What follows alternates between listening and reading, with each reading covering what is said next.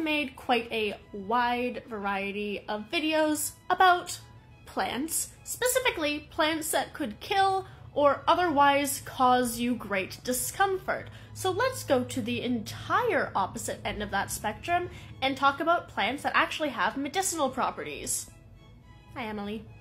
First up, let's talk about the willow tree. So historically, willow mainly the bark but also the leaves, has been used in a variety of medicinal purposes, largely for fevers and pain. The bark specifically has often been boiled in order to extract the compounds that help reduce fevers as well as providing pain relief for things like injuries or stomach discomfort or illnesses. It's often regarded as being an anti inflammatory as well as things that just reduce fever and pain and otherwise swelling. It's been used to treat fevers from sickness or injury, as well as things like arthritis or other chronic inflammatory diseases. Now, lots of these claims aren't like fully scientifically substantiated. There's a lot of, mm, does it actually? How much of this is placebo? But there are things that do have some health benefits in especially the willow bark. So willow bark does contain this chemical compound called salicin, and when ingested by the body, it's broken down into another compound. The salicin gets metabolized into this guy,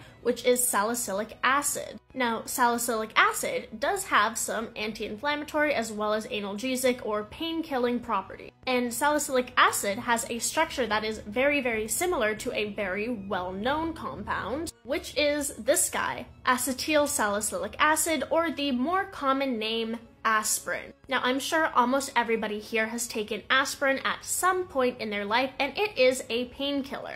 Now, there is kind of a common misconception that aspirin is found in willow bark. That's not really true. That's more of a myth.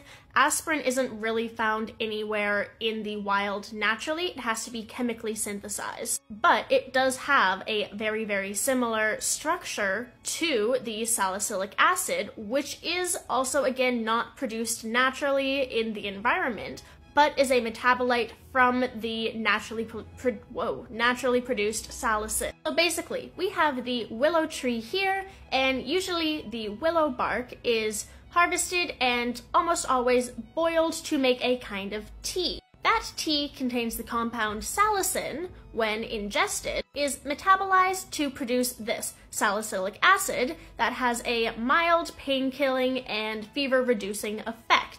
This salicylic acid is very, very similar in structure and also vaguely in function to this aspirin, which is a much stronger painkiller, but it does have a similar structure to the salicylic acid. So aspirin does have a much stronger effect than the salicylic acid, so it is recommended that you take aspirin instead of willow bark or anything. It's much stronger and it has a much better effect. And additionally, willow bark and salicin and salicylic acid do have other effects. A lot of the time, it is very, very bitter and really does not taste good at all, and it can also cause stomach irritation and allergic reaction. So it is recommended that if you need to, just take aspirin. It's a lot more effective and doesn't have as many side effects, but it is still very cool that these trees do have some compounds in it that can be used as the painkillers, if